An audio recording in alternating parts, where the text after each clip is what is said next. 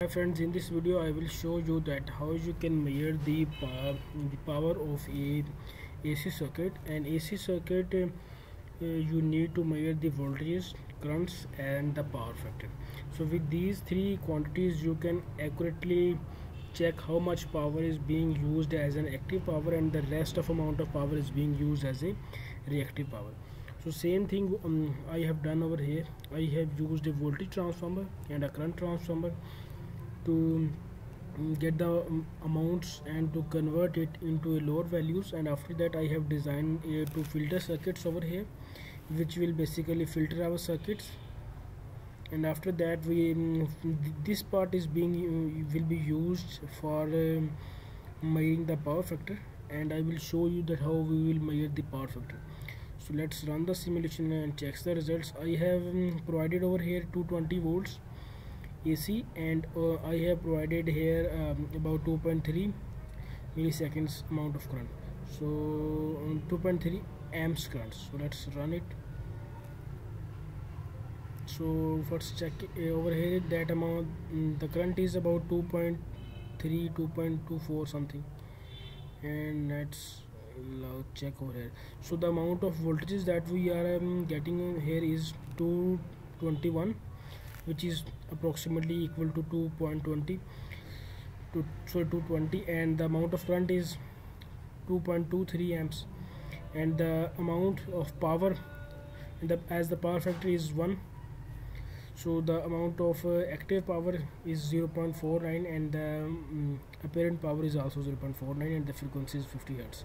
So now let's change the values and see how it works.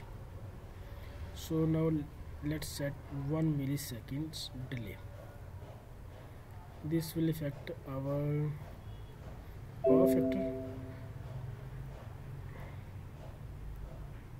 Okay. So here it is. As the power factor has dropped a little around about 0.95 from 1 so the uh, active power is also dropped. Now let's further change it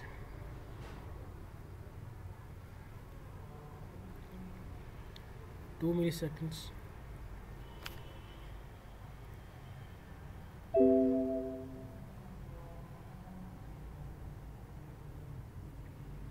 Okay. Again the power factor is dropped 0.81 and the active power is also dropped. Now let's keep changing it. Now make it 3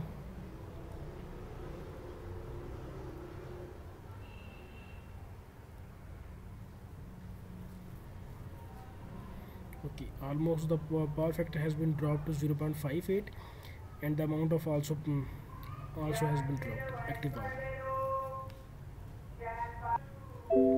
okay now let's further decrease it.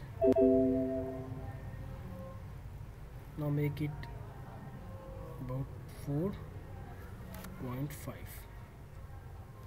at this nearly zero amount of power will be delivered